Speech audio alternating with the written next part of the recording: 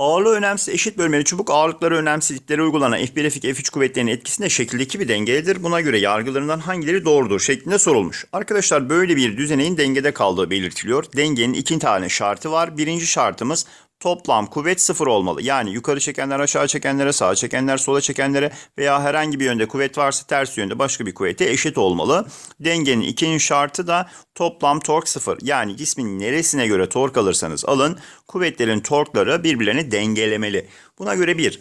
F1 ve F2 kuvvetlerinin L noktasına göre bileşke torku sıfırdır. Şimdi L noktasına göre F3'ün torku var mı arkadaşlar? Yok.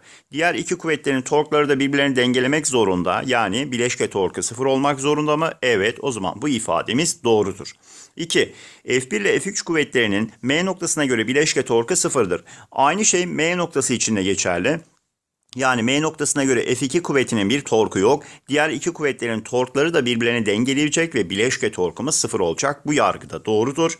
3. F1 ve F1 kuvvetinin büyüklüğü F2 kuvvetinin büyüklüğünden fazladır. Arkadaşlar 1 ile 2'yi kıyaslıyoruz. O zaman L'ye göre tork aldığımızda F1'in torku bu yönde döndürmeye çalışıyor. L'ye göre yine F2'nin torku da bu noktaya doğru bu yönde döndürmeye çalışıyor. Bunu artı buna eksi dersem Artı yöndeki tork eksi yöndeki torka eşitlerim. Buradan T1 ile T2 arasındaki ilişkiyi bulurum. F1 çarpı dönme noktasına dik uzaklığımız L'ye göre tork aldığım için arkadaşlar 4 diyeceğim. Yani F1 çarpı 4 birim eşit olacak. F2 çarpı dik uzaklığımızda 2 birim olduğundan dolayı buradan 2 tane F1 F2'ye eşit çıktı. Yani F2 F1'in 2 katıymış arkadaşlar. Demek ki F2'nin daha büyük olması gerekiyor. Burada F1 kuvvetinin büyüklüğü F2'den daha büyük dediği için yanlıştır. O halde cevap 1 ve 2 yani B seçeneğinin doğru olması gerekir.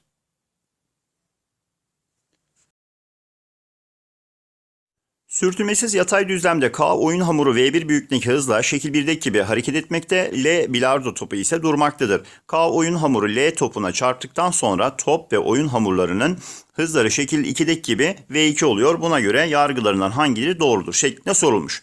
Arkadaşlar oyun hamurunun kütlesine M diyelim. Buradaki L e, bilardo topunun kütlesine de 2M demek istiyorum. Biraz daha e, ağırlığı fazla olduğundan dolayı. Şimdi e, burada bir çarpışma olayı gerçekleşiyor. Esnek olmayan çarpışma yani cisimler çarpıştıktan sonra yapışıp birlikte hareket ediyorlar.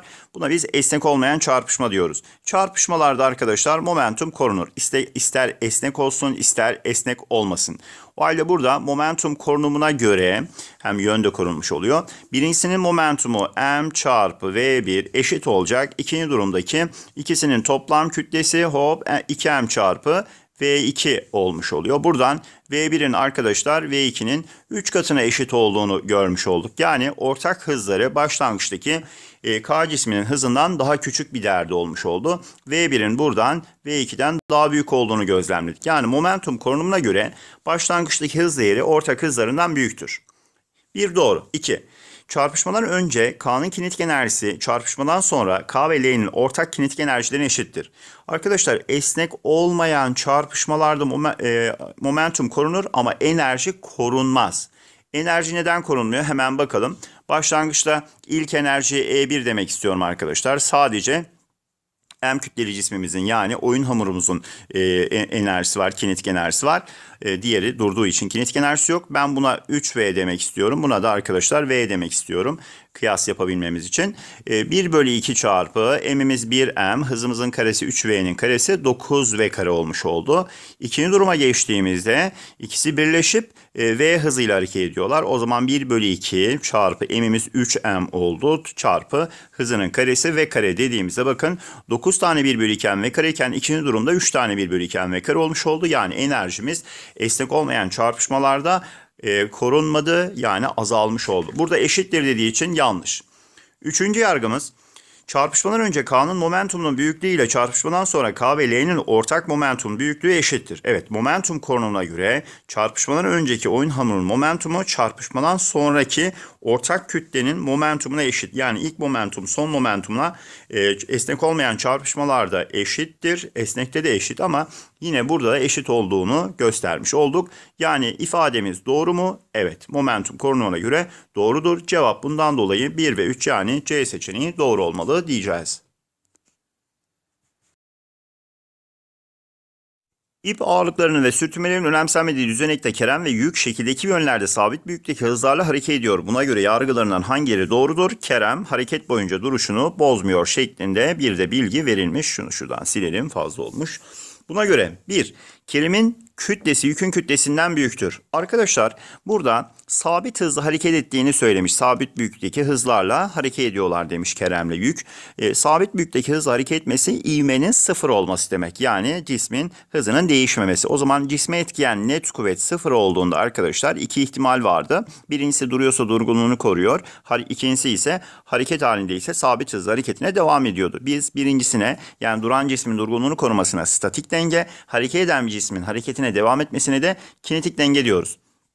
O halde burada yükün ağırlığına G dediğimizde arkadaşlar ipteki gerilme kuvveti de sabit hızla hareket etmesi için yukarı yönde e, G şiddetine eşit olmalı. Yani T dediğimiz değer G'ye eşit. Yine aynı şekilde burada T dediğimiz değerde kerimin ağırlığına da G dersek yani G demiş olacağız daha doğrusu. İp de bunu aynı şekilde yukarı çekerken ağırlığı da aşağı doğru çekiyor. Ağırlığı da ip gerilmesine eşit olmak zorunda kerimin de sabit hızla hareket etmesi için. Yani burada bir sistem var. Sistem sabit hızla hareket ettiği için sistemi oluşturan cisimlerde sabit hızla hareket eder ve sistemde her bir cisme uygulanan net kuvvet sıfırdır. O zaman Kerimin ağırlığı ipteki gerilme kuvvetinin ipteki gerilme kuvveti de buradaki yükün ağırlığına eşit olmuş oluyor. Başlangıçta sisteme belli bir hız veriyorsunuz. O hızla sabit hızla hareketine devam etmiş oluyor. Bir, kerimin kütlesi yükün kütlesinden büyüktür. Hayır, kütleler eşit, ağırlıklar da eşit. Yani buradaki birinci ifademiz yanlıştır.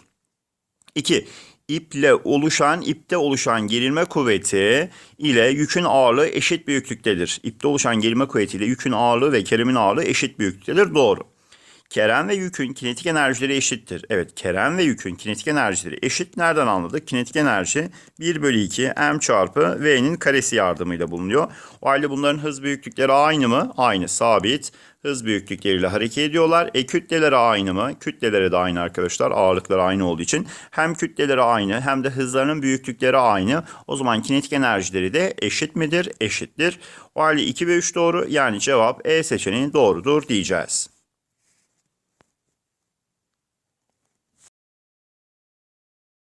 Düşey keste şekil gibi olan sürtünmesi düzenekte K cisminin yerden H kadar yüksekteki konumundan serbest bırakılması sonucunda yayda depolanan en büyük esneklik potansiyel enerji E'dir.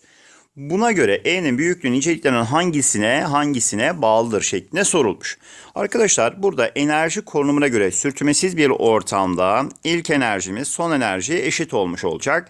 Tabi başlangıçta hangi enerjisi var arkadaşlar buradaki cismimizin? Sadece potansiyel enerjisi var. Nereden anlıyoruz? Çünkü serbest bırakılmış. Yani serbest bırakılan cisimlerin ilk hızları olmadığı için kinetikleri yok. Yani sadece potansiyel enerjimiz yükseklikten kaynaklanan bir enerjimiz var.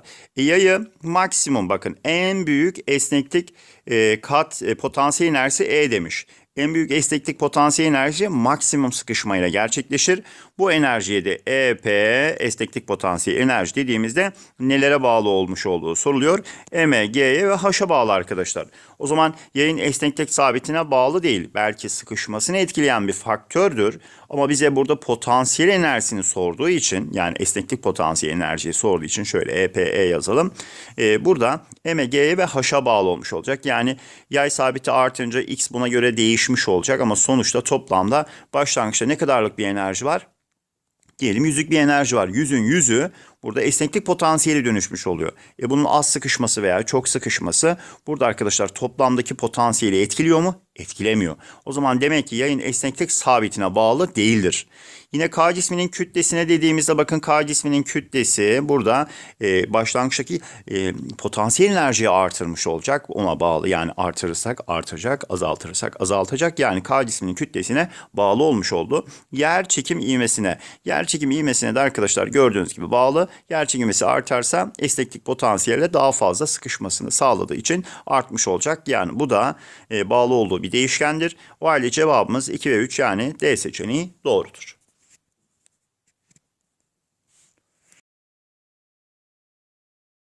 Merkezinden geçen sürtünmesiz mil etrafında serbestçe dönen disk üzerinde bulunan Kerem bir nolu konumdan iki nolu konuma geliyor. Bir nolu konumdan iki nolu konuma gelmiş. Buna göre Kerem ve diskten oluşan sistem ile ilgili yargılarından hangileri doğrudur şeklinde sorulmuş. 1. Açısal hızı artar. Arkadaşlar burada bir sistem var. Dışarıdan bir tork etkisi olmadıkça yani dönme yönde veya tersi yönde bir torku olan bir kuvvet olmadıkça açısal momentum korunur. Yani açısal momentum ilk durumdaki sistemin açısal momentumu son durumdaki sistemin açısal momentumuna eşit olmuş olacak. Tabi açısal momentum 4 farklı yolla bulunuyordu. P çarpı R ile bulunabilir veya M çarpı V çarpı R ile bulunabilir veya arkadaşlar M çarpı omega çarpı R'nin karesiyle veya I çarpı omega yardımıyla bulunabiliyor. O halde burada açısal hız sorulduğu için açısal hızlı olan şu üçüncü denklemi kullanmak istediğimizde açısal momentumumuz dışarıdan bir tork etkisi olmadığı için toplam tork sıfır olduğu için korundu. E, buradaki Kerem'in kütlesi değişmiyor. E, yarı çapımız ne yapıyor arkadaşlar? Bakın bu da değişmedi. Açısal momentum da değişmedi. Yarı çapımız birden ikiye geldiğinde artıyor. Yarı çapımız artarsa o zaman ne yapacak? Açısal hızımız azalmış olacak. Açısal hız artar dediği için yanlış. 2. Eylemsizlik torku artar. Eylemsizlik torku I dediğimiz kavram arkadaşlar M çarpı R'nin karesi yardımıyla bulunuyor. O zaman M'imiz yani Kerem'in kütlesi değişmedi ama yarı çapı arttığı için açısal e, eylemsizlik momenti I dediğimiz değer artmış oldu. Yani doğrudur. 3. Açısal momentumu değişmez. Evet dışarıdan bir tork etkisi yok. Yani sistem içinde bir değişikliğe e, sebep oluyor. Yani buradaki kelimin yarıçapı artmış oluyor. Dönme merkezinden uzaklaşmış oluyor. Onun için dışarıdan bir etki olmadığı için açısal momentumumuz korunur, değişmez. Bu yargımız doğrudur. 2 ve 3 doğru olduğu için cevap E seçeneği olmalı.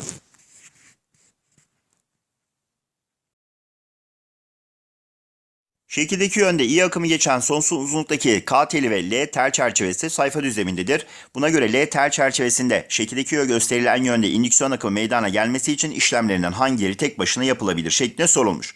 1. K telinden geçen akım şiddetini artırmak. Şimdi arkadaşlar K telinden geçen akım sağ kuralı yardımıyla yukarı yönde baş parmağımızı gösterdiğimizde bükülmüş dört parmağımız bu tel çerçevenin içerisine doğru bir manyetik alan oluşturmuş olacak. Buradaki manyetik alanın oluşması yeterli değil. Bu manyetik alanın değişmesi gerekiyor.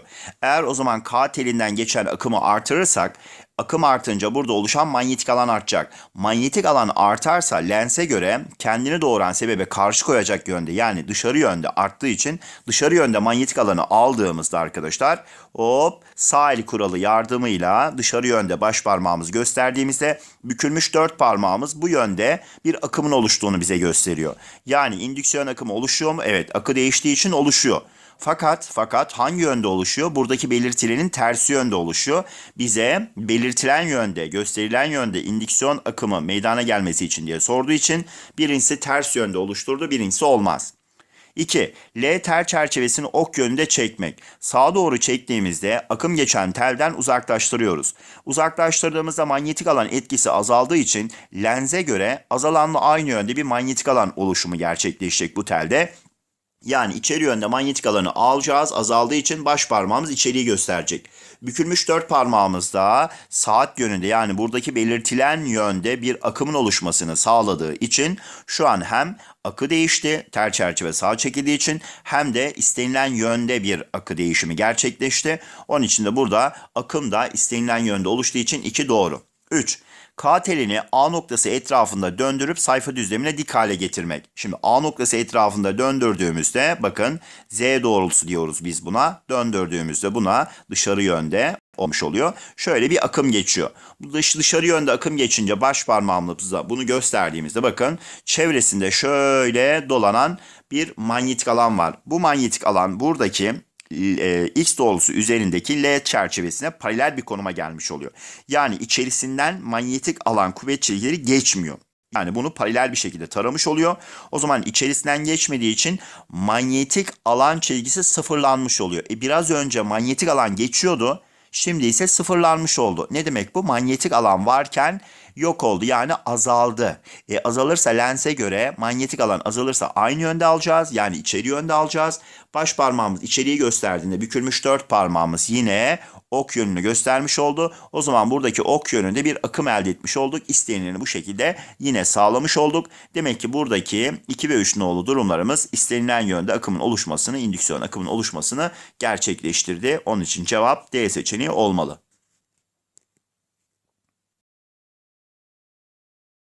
Şekildeki K sağacı gerilimi V olan üreteçle yüklenmiştir. K sağacının levhalar arasındaki elektrik geçirgenlik katsayısı alan ikisinden büyük olan seramik malzeme yerleştiriliyor. Buna göre yargılarından hangileri doğrudur şeklinde sorulmuş. 1. Levhalar arasındaki elektrik alan şiddeti artar. Şimdi buraya yalıtkan bir malzeme koyuyoruz arkadaşlar. Havanın ikisinden daha az. Yani E0 dediğimiz değeri değiştiriyoruz. E, yüklü paralel levhalar arasındaki elektrik alan şiddeti bulunurken V bölü D yardımıyla bulunur. V dediğimiz buradaki üreticinin gerilimi arkadaşlar. Burayı artı eksi e, yüklerle yükledi ve sonuç itibariyle burada bir elektrik alan oluşmuş oldu. V değerimiz değişti mi potansiyel farkımız değişti mi arkadaşlar? Değişmedi. Levhalar arasındaki uzaklık değişti mi? O da değişmedi arkadaşlar. Levhalar arasındaki uzaklık. O zaman elektrik alan şiddeti değişmez. Burada artar dediği için yanlış. 2. Kondansatörün sığası artar. Kondansatörün sığası, kapasitesi e, burada E çarpı A bölü D yardımıyla bulunuyordu. Yani yalıtkanlık sabiti çarpı levhaların alanları e, alanı bölü aradaki uzaklıkla bulunuyordu. O zaman burada yalıtkanlık sabitini ne yaptık? Artırdık. Yalıtkanlık sabiti artarsa C burada artar. Alan ve uzaklık değişmemişti. O zaman demek ki E arttığı için C artar ifadesi doğrudur. Kondansatörde depolanan yük artar. Şimdi arkadaşlar kondansatörlerde elektriksel anlamda bir potansiyel enerji depolanıyor. Bu potansiyel enerjimiz de 1 bölü 2 C çarpı V'nin karesi yardımıyla bulunuyor. Burada üreticinin gerilimi değişmedi. Sağ yani kapasite arttığı için potansiyel enerjimiz burada artmış oldu. Depolanan enerji artmış oldu. Bu da artar bilgisi dediği için doğrudur. O halde cevap denizli yani D seçeneği doğru olmalı.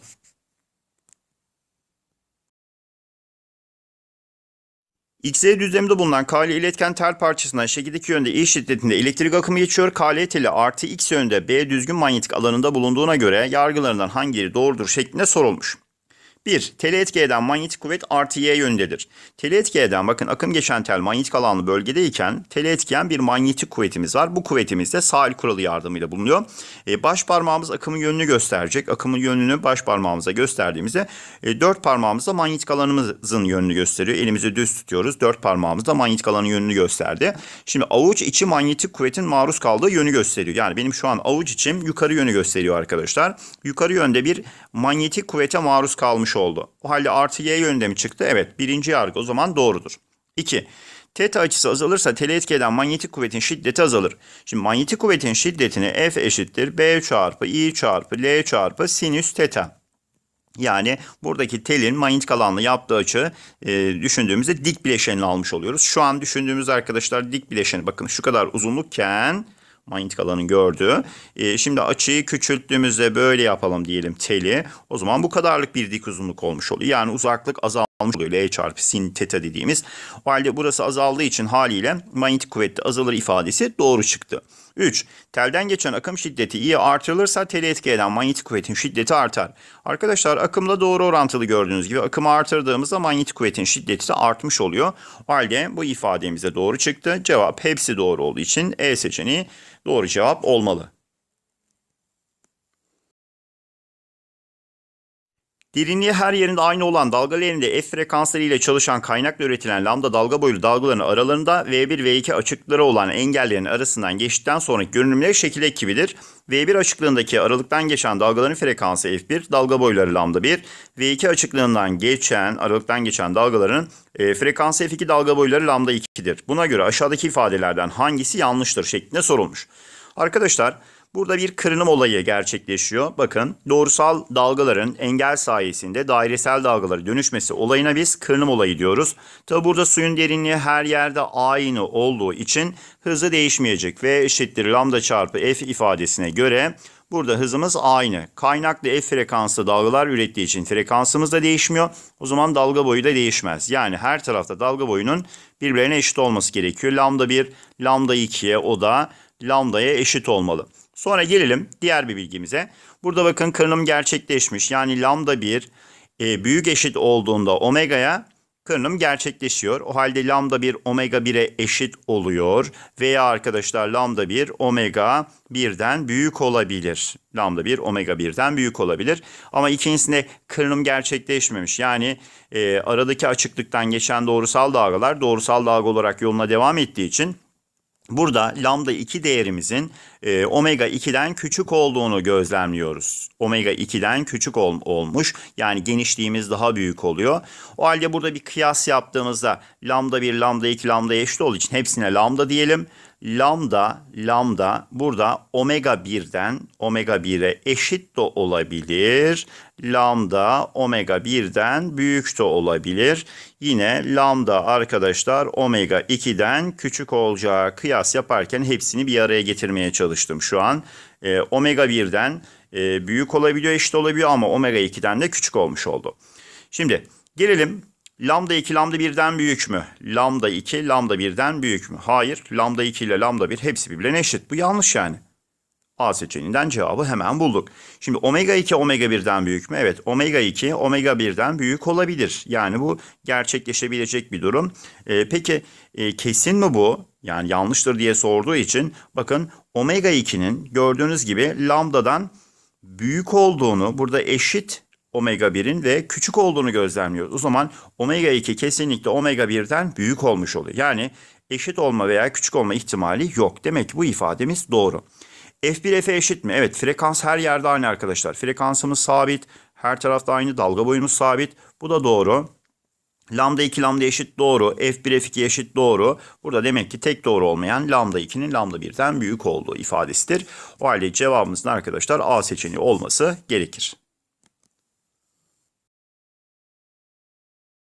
Elektromanyetik spektrumlarda bulunan dalga özellikleri ile ilgili aşağıdaki yargılardan hangisi doğrudur? A. Gama ışınlarının boşluktaki yayılma hızı radyo dalgaların boşluktaki yayılma hızından büyüktür. Bu yanlış arkadaşlar. Çünkü elektromanyetik dalgalar aynı ortamda aynı hızla hareket ederler. Yani boşluktaki hızları ışık hızına eşit. Farklı bir ortama geçtiklerinde ona bağlı olarak hızları da değişiyor. Ama e, gama ışınları, radyo dalgaları, mikro dalgalar gibi enerjileri farklı olsa dahi boşlukta aynı hızla yayılıyorlar. Birinci ifademiz yanlış. İki. Güneş kremleri güneşten yayılan gama ışınlarına karşı koruma sağlar. Arkadaşlar güneş kremleri gama ışınlarını absorbe edecek veya geçiremeyecek bir derde değil. Ondan dolayı da e, gama ışınlarına karşı koruma sağlayamaz. Çünkü gama ışınlarının giriciliği aşırı miktarda fazladır. Enerjisi de fazla olduğu için güneş kremleri bunları bunları soğurup absorbe edip koruma sağlayacak bir yapıya sahip olmaz. Bu da yanlış. İnsan vücudu için zararlı olmasına karşın gama ışınları tıpta teşhis ve tedavide kullanılabilir. PET cihazları yani pozitron emisyon tomografi dediğimiz cihazlarda gama ışınları kullanılmış oluyor. İnsanın vücuduna e, e, radyoaktif bir element enjekte ediliyor ve bundan yararlanıp e, teşhis, tıpta teşhis ve tedavi yöntemlerinde kullanılmış oluyor. Yani bu doğru kullanılabilir dediği için hani kötünün iyisi diyoruz. Yani belki vücuda radyoaktif bir element e, ile, aktarılıyor, ilave ediliyor. Ama arkadaşlar sonuçta hastanın ömrü biraz daha bu şekilde uzatılabiliyor. D. Termal kameralarda radyo dalgalarını algılayarak görüntüleme gerçekleştirilir. Evet, radyo dalgalarını algılayarak, e, algılayarak görüntü gerçekleştirme e, termal kameralarda arkadaşlar kızılötesi ışınlar sayesinde sağlanmış oluyor. Yani bu ifademizde yanlış.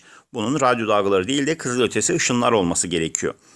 E X ışınlarının dalga boyları görünür ışığın dalga boylarından büyüktür. Arkadaşlar radyo dalgalarından başlayarak radyo dalgaları, mikro dalgalar, kızılötesi ışınlar, görünür ışık, ultraviyole ışınları, X ışınları ve gamma ışınları olmak üzere 7 tane elektromanyetik dalga çeşidimiz var.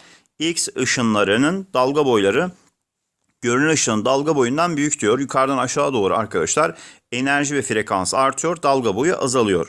O halde dalga boyu e, görünür ışık için atıyorum 3 lambda ise e, x ışınları için lambda değerine sahip oluyor.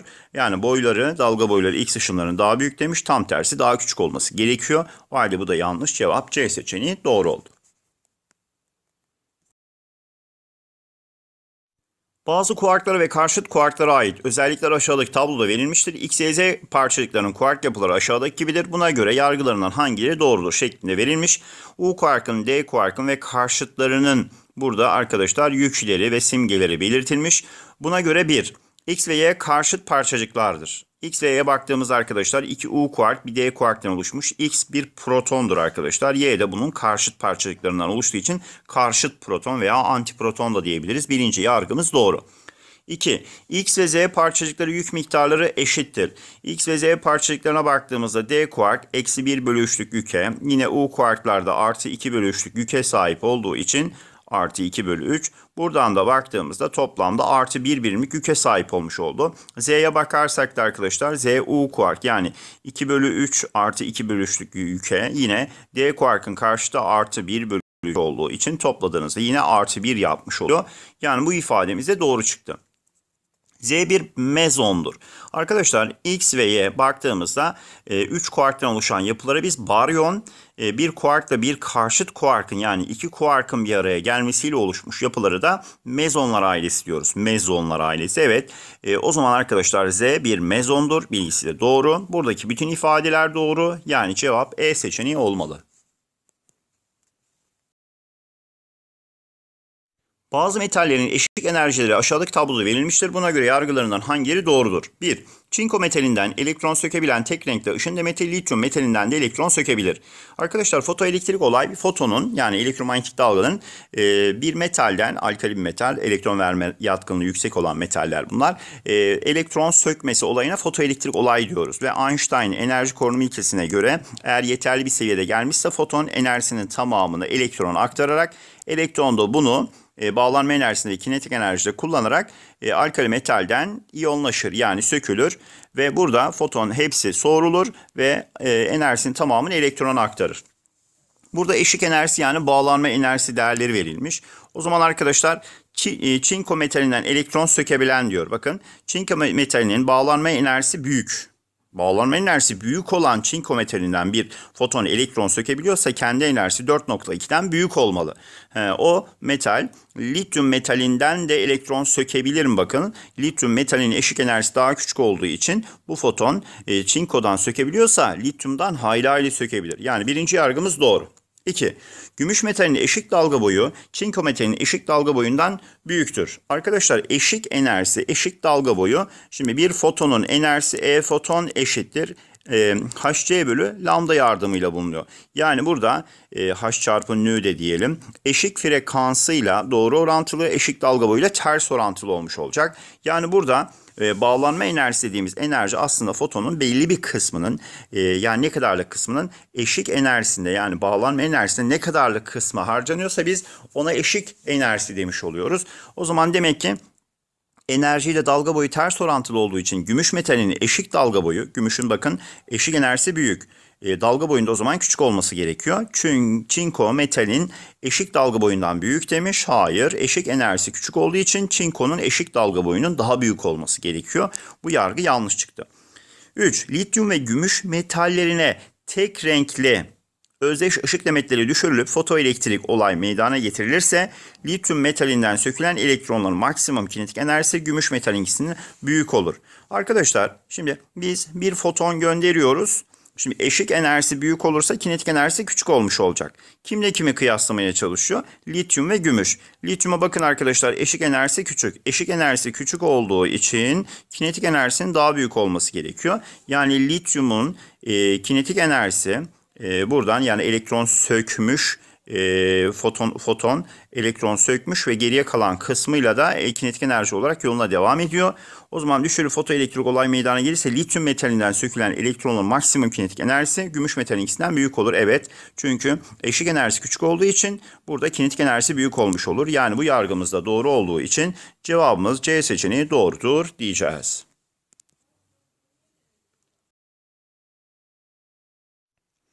Radyoaktif bir atom çekirdeğin kararlı bir çekirdeğe dönüşümü sırasında gerçekleşen ışımalar sırasıyla aşağıdaki gibi verilmiştir. Buna göre yukarıda gerçekleşen ışımalar sonucunda çekirdeğin atom numarası ve kütle numarasının değişimi aşağıdakilerden hangisinde doğru verilmiştir şeklinde soruluyor. Bir alfa bozunumu, bir beta artı bozunumu, bir de gama ışıması gerçekleşmiş.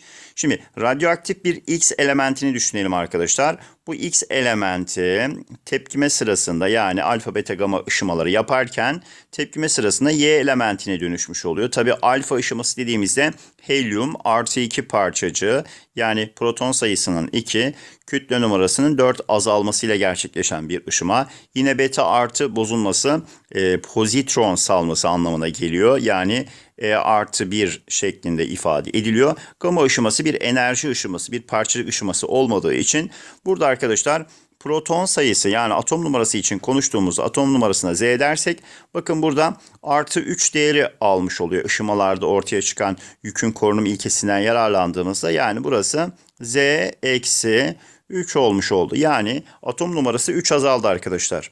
Gelelim şimdi kütle numarasına. Kütle numarasında alfa ışımasında 4 e, kütle numarası azalması gerçekleşiyor. Ama diğer ışımalar bakın e, beta artı veya gamma ışımasında herhangi bir kütle numarasında değişiklik olmuyor. Yani kütle numarası da 4 azalır şeklinde gerçekleşecek. Yani onu da şöyle yazabiliriz. Kütle numarasını e, atom e, ağırlığı şeklinde ifade ettiği için A dediğimizde burası A eksi 4 olmuş oluyor.